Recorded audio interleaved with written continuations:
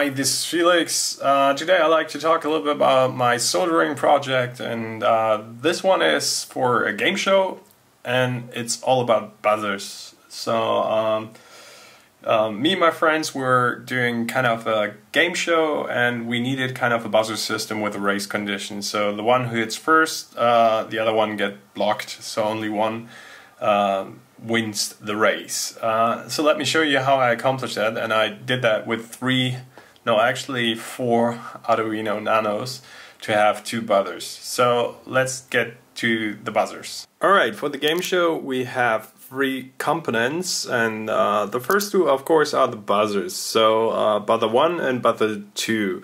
You can extend that easily to more buzzers but right now for the purpose of our game show which is a German game show and called Blamieren or Kassieren uh, which uh, yeah is just with two teams or two people, so that's alright.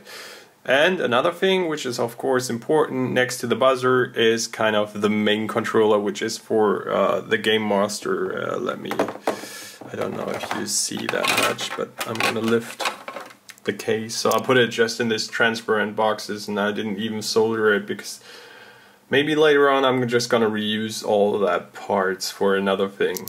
But so yeah, how is it working and what's happening? So we have, as I said, these two buzzers, and let me show you how that works. So I've turned them on. Each of them has a Arduino Nano and a NRF24. That's actually the main components which are inside of the buzzer and of course the buzzer. So uh, that's actually a pretty neat buzzer from uh, AliExpress. I can highly recommend to buy them from there. They're good quality and they have a light inside and let me show you how that works. So um, when I press the button it sends over the NRF24 a signal to the Game Master which is received by uh, this little tiny Arduino Nano and uh, he checks if somebody pressed before. If not, he's going to send back a signal also over the NRF24 to the buzzer and tells him, hey, you were the first one, you're able to light. And as you can see, there's some other stuff on, the right hand side, which is uh, second Arduino for the Game Master control.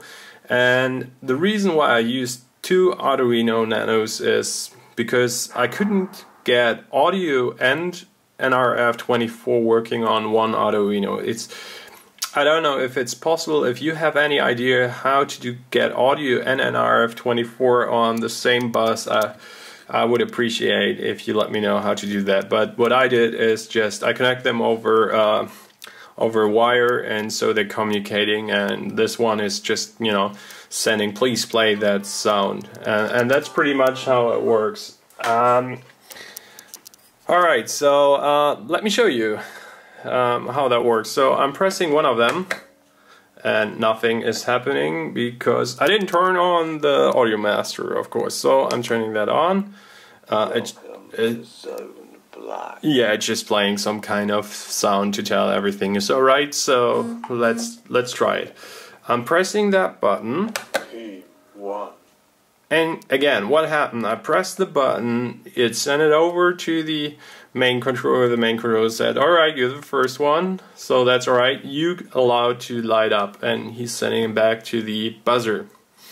And the other one is now locked, he's still sending kind of requests like, hello, I like to I like to be the first, but he says, no, you're not the first, so I'm not giving you uh, the, um, the light.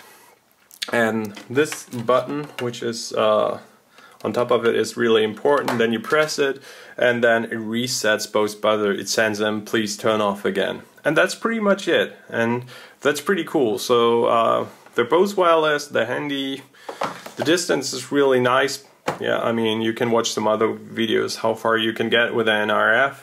24, I could have it, you know, to one room or two room uh, away from the actual audio master and that works still pretty good.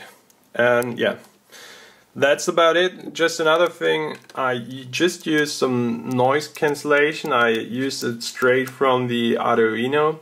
I didn't use, uh, I tried it first with the LM386 or 68 amplifier, but I couldn't get rid of the noise, so I just used some uh, cancellation and found this little neat speaker which has its own amplifier and that works.